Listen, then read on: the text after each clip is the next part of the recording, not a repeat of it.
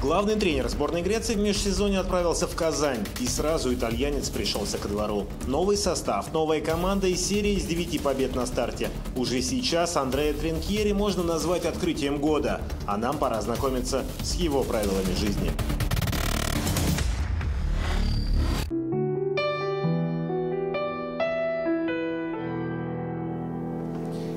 Я Андреа Тринкьери. Это мои правила жизни.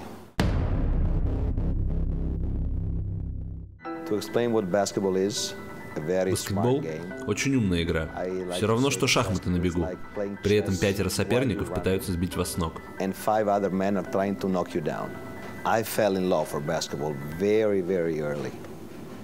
Я влюбился в баскетбол еще ребенком, но вскоре я понял, что профессиональным игроком мне не стать. Тогда я осознал, что тренерская работа – прекрасный способ оставаться рядом с любимой игрой. In this game. When I started to coach, I thought that the Когда я начинал тренировать, думал, что главное в этой профессии – знание тактики. Теперь, после десятка лет работы, понял, что это максимум 30% успеха. Оставшиеся 70% – это сеть отношений с игроками, владельцами клуба, журналистами. Именно здесь и кроется разница между хорошими и великими тренерами. I remember the words of Valery Lobanovsky, Великий футбольный украинский тренер Валерий Лобановский однажды сказал, на поле игроки не должны думать, за них думаю я. He said, "Don't think, I will think Согласен с you." ним, хоть и не на It's 100%. not perfect, but I like this quote. I believe in simple system. Most of the Я верю в простые схемы. Лучше меньше, да лучше. Легче играть по простой системе, нежели сложной.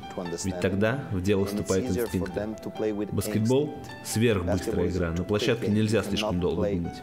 Моя цель выработать у подопечных логичный инстинкт. Sometimes in my job I have to take tough decisions. Мне приходится делать выбор.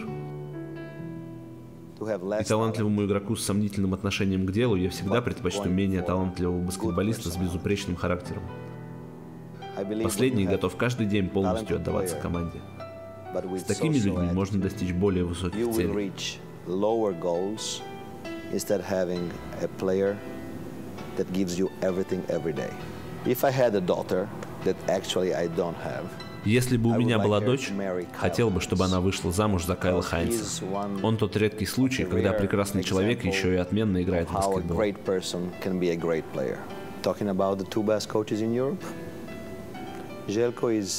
Два лучших специалиста в Европе – Желька Абрадович и Этер Мессина. Желька – прирожденный тренер, истинный гений. Этере достиг абсолютно всего благодаря феноменальной работоспособности и тщательному разбору каждого вопроса. Они олицетворяют два разных пути к вершине.